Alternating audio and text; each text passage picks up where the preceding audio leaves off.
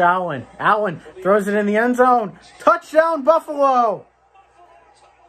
Tyler Kroft. Touchdown, Bills. Tyler Kroft.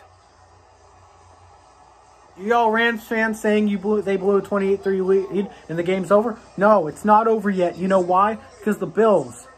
The Bills have done it. The Bills. Let's go. The Bills have done it. They have came back.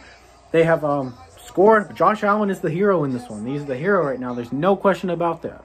No question about it. Josh Allen is the hero right now. You know, that's crazy. It looks like the Bills are going to win after that pass interference call on the Rams. Wow. That's crazy. Oh, Santana hit a home run. Wow. How about that, guys?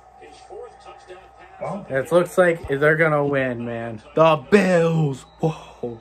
I picked them too. So uh, that's good. That is good. Tyler Kroft did it. I'm happy about that because I had him in my pick 'em. I needed them. So I need some Pete reveal. I had the Rams, but the Rams lost. So yeah, wow, what a win for the Bills. It looks like it's going to be with only 15 seconds left and the Rams have no timeouts. Wow.